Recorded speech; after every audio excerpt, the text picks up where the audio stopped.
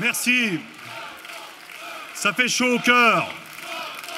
Ça fait chaud au cœur de tous nous retrouver ce soir. Simplement quelques mots pour euh, vous accueillir ici à Bourg-en-Bresse. Je voudrais, au nom de mes collègues élus du département de l'Ain, parlementaires, élus régionaux, départementaux et municipaux, vous souhaiter la bienvenue, Monsieur le Premier ministre, cher François Fillon.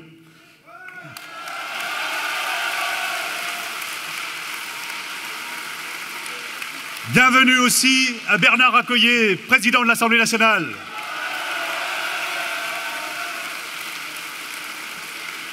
Ce n'est pas tous les jours qu'une ville a l'honneur d'accueillir en même temps deux des quatre personnages, premiers personnages de notre État. Bienvenue également à tous mes collègues parlementaires ici présents, et ils sont nombreux.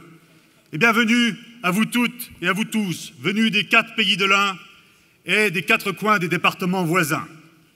Vous vous trouvez, Monsieur le Premier ministre, au cœur d'un territoire qui se reconnaît tout à fait dans les valeurs que vous portez depuis cinq ans maintenant aux côtés de Nicolas Sarkozy.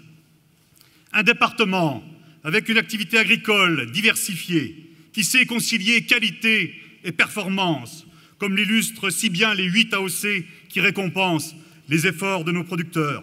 Un département qui sait favoriser la création d'activités, comme en témoigne la multitude de PME, PMI ultra performantes dans leur secteur d'activité. Et on ne sait pas assez, Monsieur le Premier ministre, que par le taux d'emploi industriel comparé à la population active, c'est le département de l'Ain qui est le premier département industrialisé de France.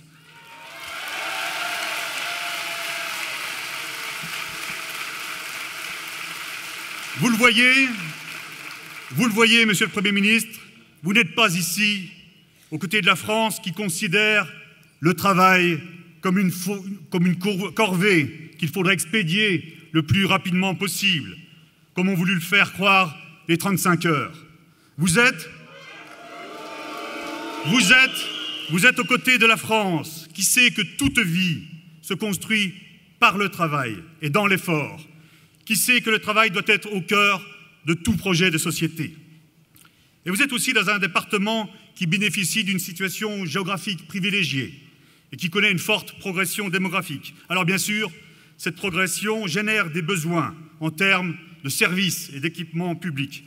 Mais là aussi, nous savons que nous pouvons compter sur votre gouvernement pour accompagner notre développement.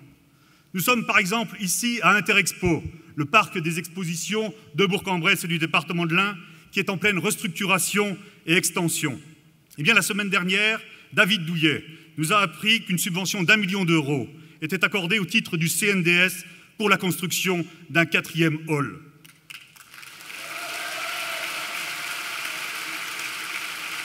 J'aurais pu, pu évoquer aussi tous les dossiers dans lesquels l'État est présent concrètement, budgétairement sur notre territoire, qu'il s'agisse de la modernisation de l'hôpital, du renouvellement urbain du quartier Ressouze ou de la construction d'une cité judiciaire.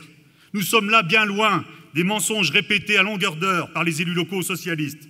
Oui, l'État n'a jamais été aussi présent, aussi engagé qu'aujourd'hui à Bourg-en-Bresse et dans notre agglomération.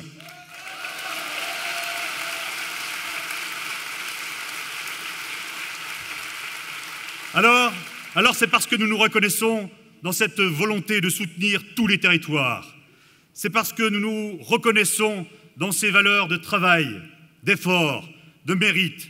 C'est parce que nous nous reconnaissons dans cette volonté de rigueur et de cohérence que nous sommes heureux, Monsieur le Premier ministre, de vous accueillir ce soir.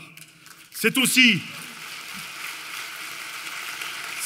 en s'appuyant sur ces valeurs que nous avons placé hier dans ces territoires de Brest et du Revermont et dans tout le département de l'Ain, Nicolas Sarkozy, très largement en tête au premier tour.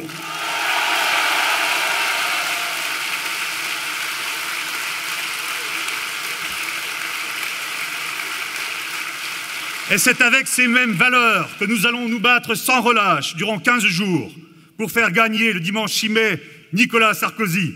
Bienvenue à Bourg-en-Bresse et dans le département de l'Ain. Vive la France forte